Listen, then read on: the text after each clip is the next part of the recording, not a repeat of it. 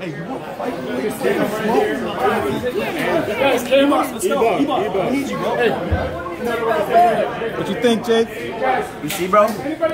He wouldn't take the bet. He wouldn't. He wouldn't put his money where his mouth is. You know what I'm saying?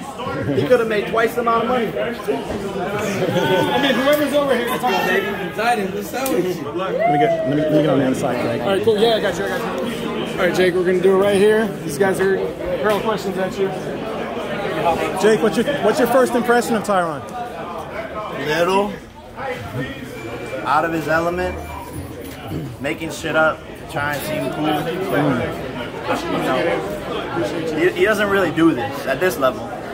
This is the biggest fight of his career, and I gave it to him. Hmm. You know, and he should be thanking me. This is the biggest payday. Otherwise, he would have just been cut by the UFC and then just left on the sideline. So he, honestly, honestly, he, he should be thanking me. But it is what it is. He wouldn't take the bet.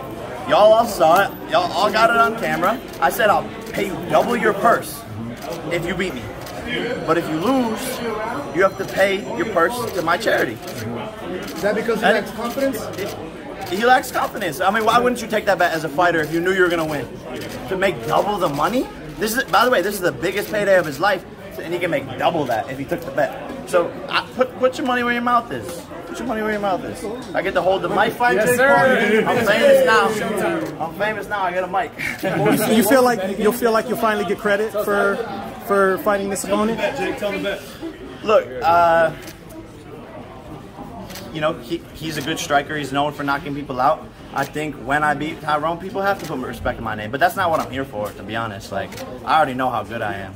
I already know that this is going to be another easy fight. Showtime knows how good. What was the and, and that's why Showtime's in, in business with me because they, they know that that you're looking at the future of boxing. 'Cause Some people will say it's cocky, arrogant, but I'm just doing my thing and I work hard and it pays off. Did Showtime reach out to you to make that deal? Say, say it again. Did Showtime reach out to you to make that deal? Uh, it was like a mutual thing, Okay. you know. The, the, that, that's what it is. Tell big us business. one Well, I already said it like a hundred times. Jake, what, what, up, bro? Why you gotta leak the fight on us, bro? He this is the guy that leaked. it. Mole. Mole. I was trying to get the Man, announcement. you got you got t- you got two bites of the cookie. Yeah, you true. got you got trended twice because of that. True, so- true, true. You're right. I right. got you. You're right. You're right. But Facts. I look, man, you. everyone's saying everyone's saying that Tyrone's a lot Tyrone's a lot better than Askren. Do you think so? Yeah, for sure.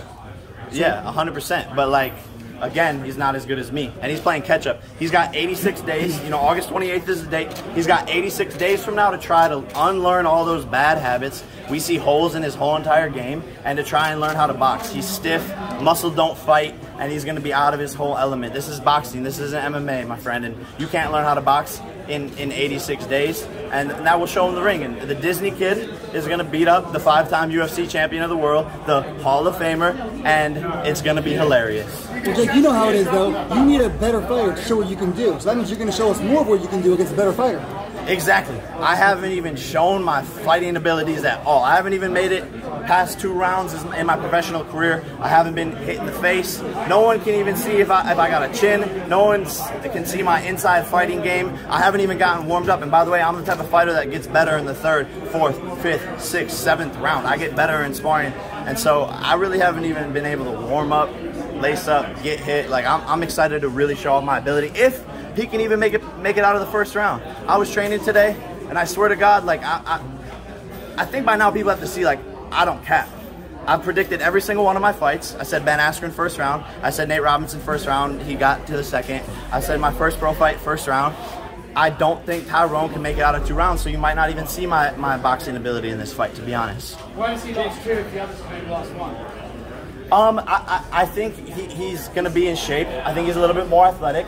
He is a five-time he's a five-time UFC champion.